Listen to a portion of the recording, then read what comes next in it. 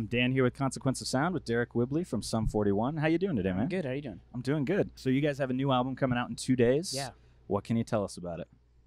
I think it's probably. I mean, most people say it's probably our heaviest for us. Um, I don't know. I think it probably leans more on. I don't think it's heavier than anything we've ever done necessarily, but we probably lean on our heavier side more on this record. Any that makes specific any reason sense. why?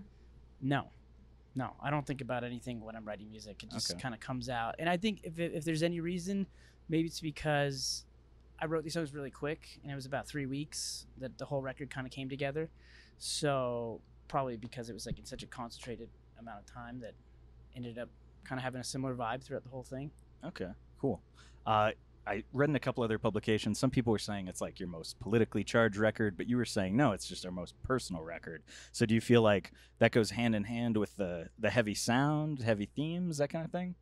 I don't know. I guess to me, yeah, I I don't think it's a political record. Some people do in some ways, but uh, to me, it just sounds. It just feels like a personal record to me. I don't know, because I, don't think I'm really singing about anything specific.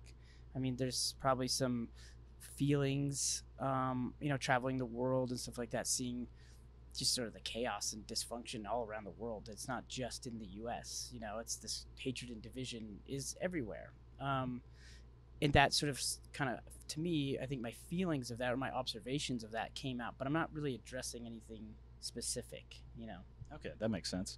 Um, now I loved your video, your "Rock Is Dead" video with Will Sasso Oh, yeah. yelling at you guys about you got to play pop music. Uh, was that purely tongue in cheek, or do you guys feel like rock's kind of in a bad place these days? i think we're just making fun of the whole the whole music industry i think that's just the same way we did it in the last time you know with, with will sasso and still waiting um, we're just making fun of this, the current state of pop, pop culture really And uh, you guys are on Disrupt Festival. Uh, you played Warped Tour quite a bit when it was a traveling festival, and I Yeah. think you played the last year that it did travel. So how does one show on one show, year, okay. yeah yeah uh, So- how does Disrupt uh, kind of compare to that traveling festival vibe?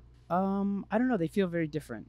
It doesn't feel like it's the same kind of thing. Um, I don't know if it's supposed to be or if it's trying to be. I don't necessarily think it is. I think um, it's, you know, it's just it's around the same time as Warped Tour used to go out, but I think it's trying to do its own thing, and it, to me, it feels like its own thing.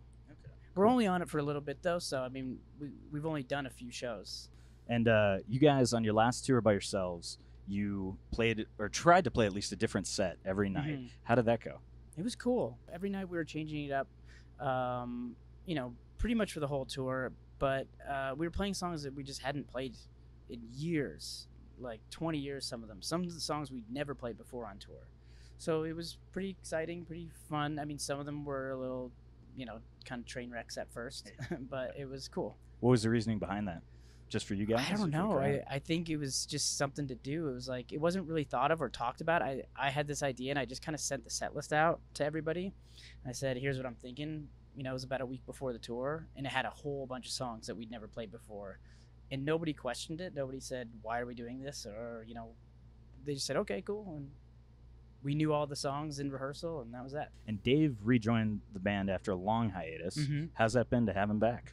Well, it's great. I mean, it's been about I'm gonna say close to four years now, with a lot of touring done in those years. So it feels like, you know, it, it doesn't feel like it was. He, it's new, you know. So we're pretty settled. I mean, the the day that he came back in the band, it it didn't feel. It felt like he'd never been gone.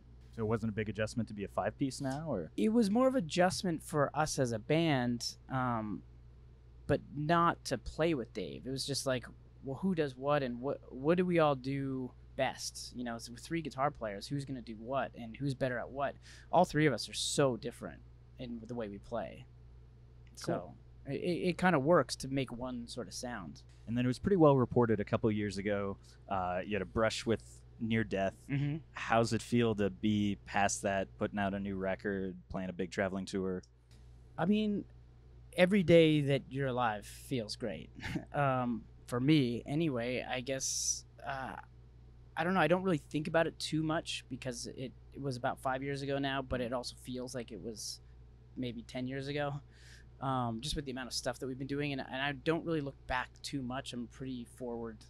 I'm mostly just present thinking, Cool. but um, moving forward. So I don't know. It feels great.